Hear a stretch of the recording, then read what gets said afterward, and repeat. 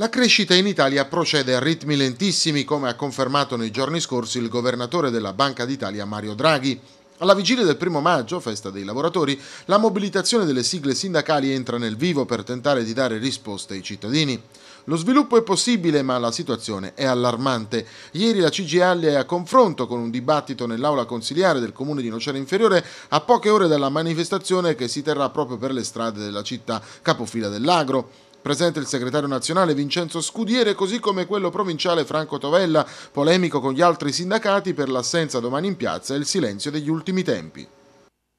Il nostro Paese si sta avviando verso un avvitamento nella crisi perché i dati ci dimostrano che aumenta la disoccupazione, il tasso tendenziale che noi calcoliamo è del oltre il 18% e abbiamo i giovani e le donne, specie nel mezzogiorno, che sono ormai a un tasso che supera il 30% e raggiunge anche punte del 40%.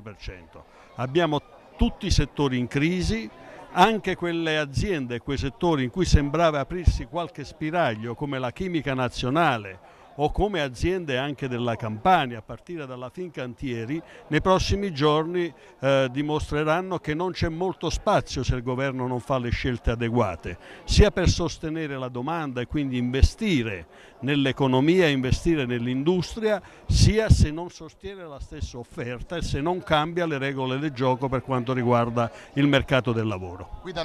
No, sarà un primo maggio di crisi, ma sarà anche un primo maggio che vedrà una grande manifestazione a Nocera, vedrà delle manifestazioni promosse dalla CGL anche nel Cilento, ad Eboli con un concerto e purtroppo a Nocera sarà un primo maggio promosso solo dalla CGL. Io me ne dispiaccio di questa cosa, il primo maggio è una giornata di festa, era una giornata che deve unire il mondo del lavoro altre organizzazioni hanno fatto altre scelte, non vogliono stare a festeggiare con noi il primo maggio, a manifestare con noi il primo maggio nella tradizionale manifestazione che dura da decenni e decenni a Nocera, me ne dispiace e spero si possa recuperare.